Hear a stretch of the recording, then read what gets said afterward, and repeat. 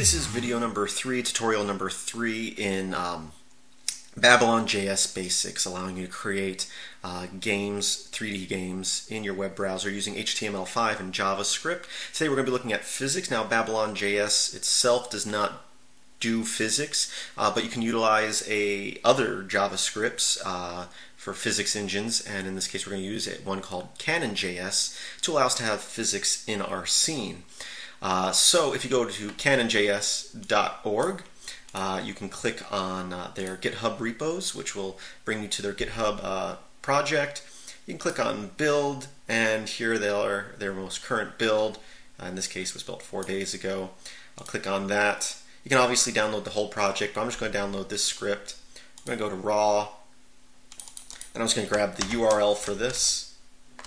I'm going to go to our project folder here. I'll go to our where I have the JavaScripts inside a JavaScript folder here, and I'll say wget, and I'll put in that URL.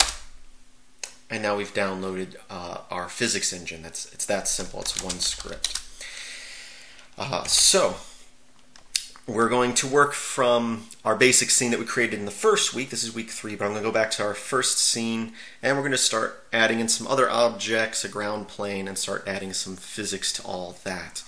So I'm going to say vim, I called my file uh, 03.html, and I do hope that you watched the first tutorials. This is the scene right here, the basic scene that we're going to be working with. And the first thing I'm going to do is I'm going to remove that plane. I don't want that plane. And we're going to create a ground. You might think, oh, I'll use the plane as the ground. Bad idea when it comes to physics. Planes are so flat, you're going to get uh, objects falling through them or wigging out when they hit the plane. If you're going to have a ground plane, you're going to want to use a box, something with some depth. So I'm just going to remove the three lines that were used in creating and positioning that plane. If I save this and refresh now, you can see the plane is gone. Okay, now let's create our ground plane. I'm going to do that up here above everything else. I'm going to say var and I'll call it ground. And it's a box, just like our other box. So I'm going to say Babylon uh, mesh dot create. And again, this is case sensitive box. We'll give it a name. I'll just call it ground. And we'll say 50 for the size and we'll say add it to our scene. Now let's rotate it or scale it and position it. We'll say um, our ground, we'll go position dot y equals negative 10.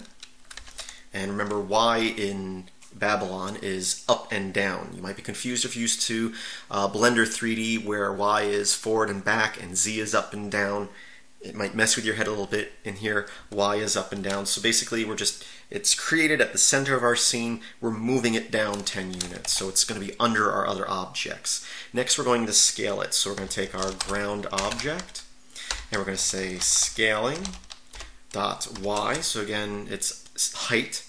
And we're going to set its height to 0.1. Now, let's go ahead and save that. Refresh. It did not refresh properly. Let me look at my code real quick. And create box, ground, 50. Let's go ahead and hit F12. I'm in Chrome, uh, but in Firefox, most browsers have a console now. You can see I have an unexpected number, line 30. Let me click here. Well, that's odd. Not showing anything there console.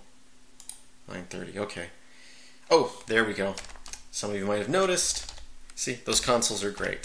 I forgot my equal sign. So uh, the reason that probably didn't show up is uh, sometimes stuff down here doesn't load if you don't have the console open when the page is uh, dis, uh, when the page is loaded. So anytime you're having a problem open this and then refresh the page. So now I should be able to refresh the page. Oh I hit F12 instead of F5 there we go. So now if I go like this, oh, there's a cube down here, a box, and that's going to be our ground plane. Now, let's start adding some physics, but we're going to have to import our CannonJS script, which we put inside our JS folder. So let's go up here, And I'm just going to, to save time, copy our Babylon.js line and just say cannon.js because that's what the file was called. Make sure that's what it's called. And if we come in here, left 5 So we've, we've added the physics engine, but we haven't connected anything. We haven't enabled the physics or applied them to any of our objects. Let's go ahead and find our, our ball here, and we'll add physics to that. So uh, Babylon.js allows you to use Cannon.js very easily. So what we're going to do first, actually up here, right after we create our scene, I'm going to say, take our scene, which we created right here, and we're going to say dot enable physics. So physics are now enabled. That will only work if you have Cannon.js loaded. And then we're going to take our scene and we're going to set the gravity. So the gravity for our entire scene. And we're going to use vectors for that as well. We talked about this in previous tutorials. We're going to say Babylon dot vector 3 and we're going to say 0 comma negative 10 comma 10 or 0 so what this is saying is there is no gravity left and right there is no gravity forward and back but the y here is up and down we want things being pulled down at negative 10. So higher that number, the stronger things will be pulled down. If it was a positive number, things would actually be pulled up. So in your game, if you wanted to have a something things start floating, everything in the scene with physics start floating, you can change that to a positive number. If you want things pulled to the right, you can adjust the the x uh, variable there. So we enabled our physics. Uh, we set a gravity, but that will only affect objects that we say to be affected by physics. Let's go ahead and take our ball object here. We'll say ball dot and we'll say set physics. And do remember this is case sensitive so capital P there capital S in state. And then in here we're going to give it some information in uh, a JSON format. If you've never worked with JSON it's relatively simple. Uh, you basically have uh, an identifier and a value. Uh, so I'm going to say imposter and what is an imposter? Okay. When you're doing physics in games, you don't necessarily want to calculate every little aspect of your object. Uh, with a sphere, there's lots of um, polygons, lots of vertices. You don't want to calculate them all. Uh, so what you normally would do is set what's usually called a bounding box, and here it's called an imposter, and it's this invisible object around your object that does the collision detection for you. It's usually a simpler object than what your actual mesh is. And for this, what I'm going to do is I'm going to say um, Babylon, sorry, thinking, uh, physics engine dot box imposter comma, we'll give it a mass, comma, and we'll give it some friction, and we'll set that to 0.5, comma, and then we'll say restitution, colon 0 0.7. Uh, now, let's go ahead save that. Go in here, hit F5, we got an error. Let's go ahead, open up our console. Okay, so we're getting an error here, and uh, it says that something's not defined, and it's not in our script necessarily. Uh, it's in the Babylon JS. Now, it could be we typed something wrong and it's passing the wrong information to the Babylon JS, or it could be uh, more likely what I think it is, but we'll double check here. Because if we click on here, uh, the Babylon.js script is kind of compressed. We're not going to be able to figure that out. We could go to the website and see what bugs have been reported for this version of Babylon.js, which in the first tutorial we downloaded was 1.13. Um, but what I'm going to do, it might be an issue of compatibility with the version of Cannon.js and the Babylon.js that I downloaded. But I do know that I have working copies, and I'm pretty sure that that's going to be what the problem is. So what I'm going to do is I'm going to go to filmsbykris.com, and I do recommend trying out the newest versions of the scripts first. But if you're having issues, you can always come here, go to Codes, GitHub, look at my repositories. Again, find the one that says Game Basics and Babylon.js. This is where all my example codes are. All the tutorial codes are here. And I have copies of Babylon.js and Cannon.js I know that work together. So what I'm going to do is I'm going to click on the Babylon.js here, choose raw, which gives us the raw file. I'm going to grab the URL for that. And I'm going to go back to here. I'm going to go into our JavaScript folder uh, and I'm going to remove everything in there, which there's only two files in there, the Babylon.js and the Cannon.js script. I'm going to say wget the Babylon.js script from my GitHub account. And I'll go into the Cannon.js from my account as well. Uh, I could test it how it is, but let's just get two that I know that work together to get this tutorial going. wget that URL. So we have the two files in there. Let's go back out here and we'll vim 03 and we'll go back to our script and refresh. There we go, and we got it working here. Um, so, sorry for that little glitch there. I just kind of did that just to get the tutorial going. Again, you can check the website. I'm sure if there's a bug there, it's been reported on the Babylon.js site. Um, but to just get things going, I'm just using the files I know work. Uh, again, if we hit F5 now, we can see our sphere falling. It falls right through our ground there. Let's move our camera so that we can see it falling without having to move the camera because it's falling right away. Let's come here to the positioning. I'm going to change, uh, let's change this to 40. Have a look. That moved us out more, but we were angled up. Let's move this to 4 I think might work. No, let's go the other out. Let's go down 1 140. There we go. There you go. You can see it going through. Now the reason it goes through the ground plane is because we haven't set any physics for the ground plane. And for objects to interact with each other, they need physics, uh, both of them. So here we're going to go to where our ground plane is created. And right under there where it's created, we'll say ground dot set physics, just like we did for our sphere. We're going to say physics state and we will say, again, give it the JSON code for its imposter.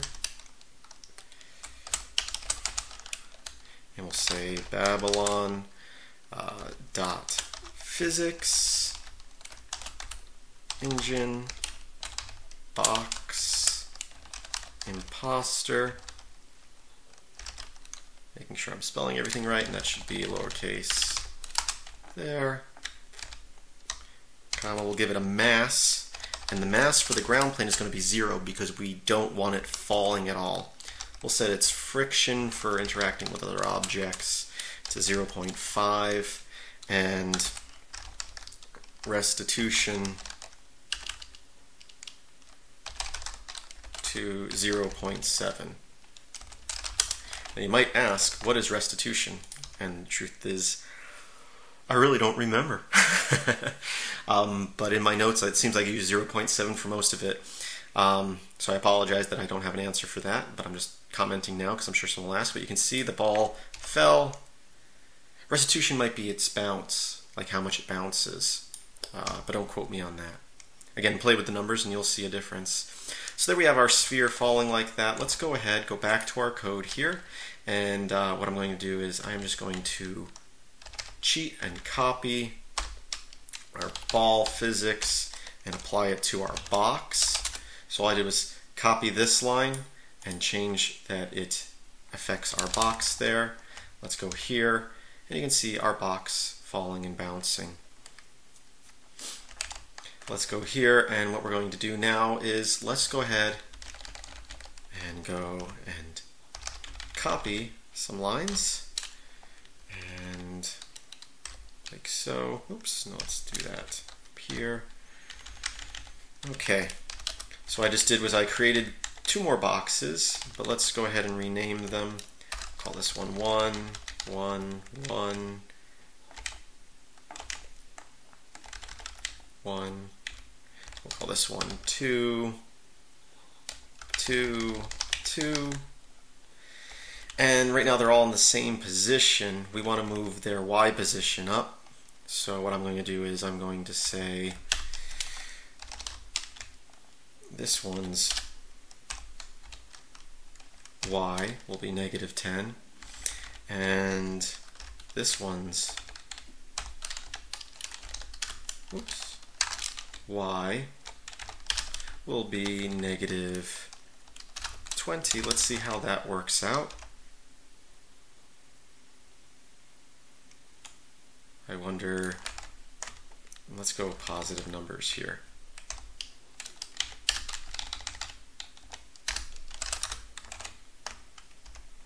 We go.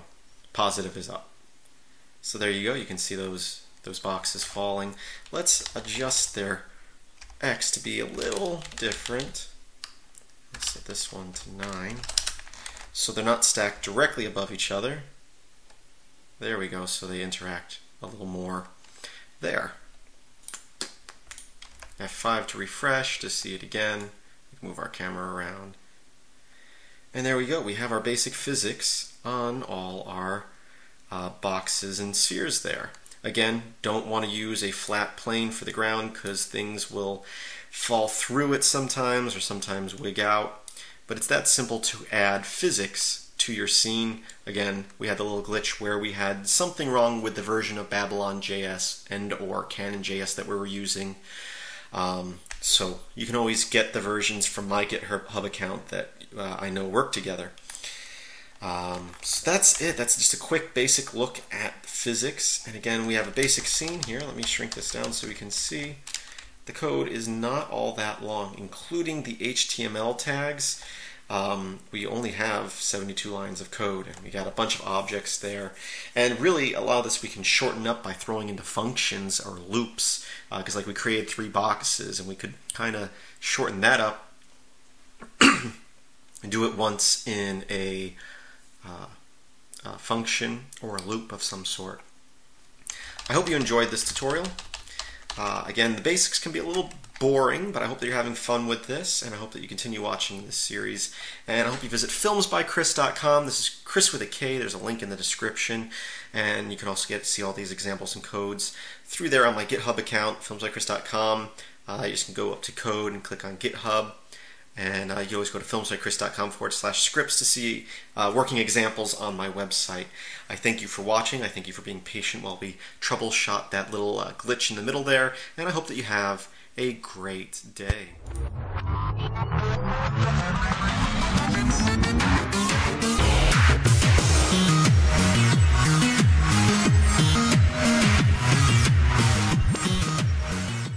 I would like to take a moment to thank the following Patreon supporters for helping make this video possible.